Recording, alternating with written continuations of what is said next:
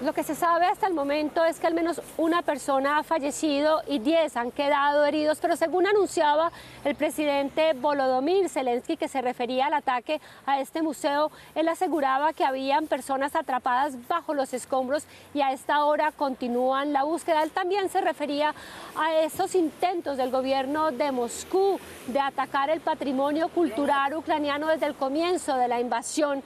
a gran escala el año pasado, cómo han atacado muchos museos y centros culturales y también cómo atacan a la población civil, como es en este caso de Kupiansk, una ciudad que ha sido importantísima en esta guerra, especialmente en el este del país. Es importante para ambas tropas porque es un punto de comunicación entre el sur y el norte del este del país. Estuvo al comienzo en control de las fuerzas rusas, pero fue retomada otra vez por Ucrania en esa gran contraofensiva que se llevó a cabo en septiembre en el que se retomaron esas poblaciones de la provincia de Kharkiv en control de Moscú. A pesar de estar liberada, ha sido atacada sistemáticamente en los últimos meses y en las últimas semanas por las fuerzas de Moscú. Las autoridades de Ucrania estaban intentando evacuar a la población, especialmente a los niños, pero como sucede en muchas de estas poblaciones,